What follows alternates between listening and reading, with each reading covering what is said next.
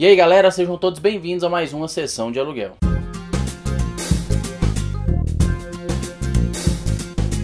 No vídeo de hoje eu vou estar iniciando uma série de vídeos especiais sobre o Oscar, não só sobre a cerimônia desse ano, a 87ª edição dele, mas como também coisas da história, curiosidades e recordes do Oscar. E é justamente sobre isso que eu vou estar falando hoje, 10 recordes da história do Oscar.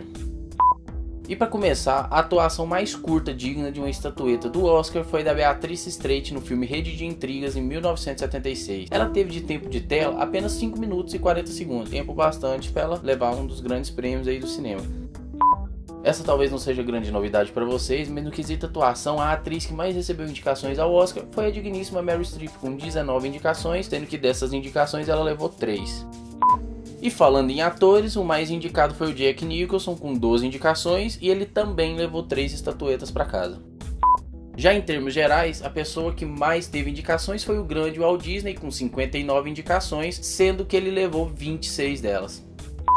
Somente dois atores levaram o Oscar interpretando o mesmo personagem, e foram eles Marlon Brando e Robert De Niro pelo Poderoso Chefão 1 e 2, respectivamente.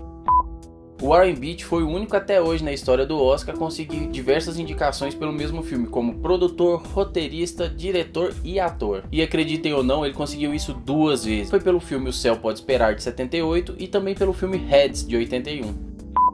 A atriz Shirley Temple ganhou um prêmio do Oscar aos 6 anos de idade no ano de 1934, na categoria Juvenil Oscar. Era uma categoria que premiava jovens talentos da época. Mas em termos gerais, no quesito categorias de atuação, a atriz mais jovem a ganhar o prêmio foi a Tatum O'Neil, que foi premiada como melhor atriz coadjuvante pelo filme Lua de Papel em 1973, quando ela tinha apenas 10 anos.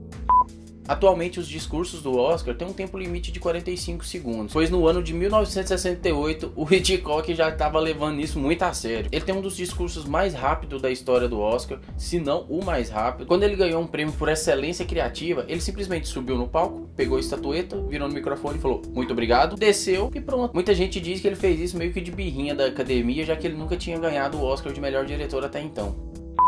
Os filmes Ben-Hur, Titanic, Senhor dos Anéis, O Retorno do Rei foram os filmes mais premiados da história do Oscar, cada um levando 11 indicações, sendo que O Senhor dos Anéis, O Retorno do Rei ganhou todas as 11 que ele estava concorrendo.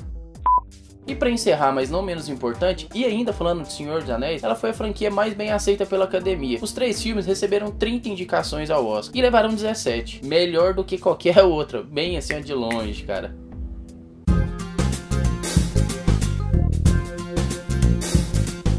Então galera, esse foi o vídeo de 10 recordes do Oscar, espero que tenham gostado. E me falem aqui nos comentários se vocês estão curtindo esses vídeos sobre o Oscar, curtindo esses não, né, porque esse é o primeiro, mas me dizem aí se vocês querem que eu fale curiosidades que são diferentes de recordes, apesar de que recordes e curiosidades, mas tem curiosidades a mais, fora números, fora indicações, quem ganhou mais e tal, tem coisas a mais para falar sobre o Oscar. Eu também vou fazer um vídeo sobre os meus palpites para premiação, a cerimônia desse ano. Eu tô querendo saber o que vocês querem que eu fale sobre o Oscar. Eu tô planejando fazer uma série de 3 ou 4 vídeos, então pode colocar aqui nos comentários. E se você curtiu esse vídeo, já deixa aquele like maroto aqui embaixo. Se é novo aqui no canal, se inscreva para poder estar tá acompanhando os vídeos toda semana. Você também pode estar tá acompanhando o nosso conteúdo complementar pela página no Facebook, que é facebook.com/barra sessão de aluguel. E agora eu também estou com uma parceria com o canal Lário Cine, e vocês podem conferir clicando aqui ou então no link na descrição. É um canal muito bacana sobre cinema também. Ele faz umas análises bacanas sobre alguns grandes diretores, algumas grandes obras. Merece a conferida de vocês. Então é isso, meu povo. Até a próxima sessão.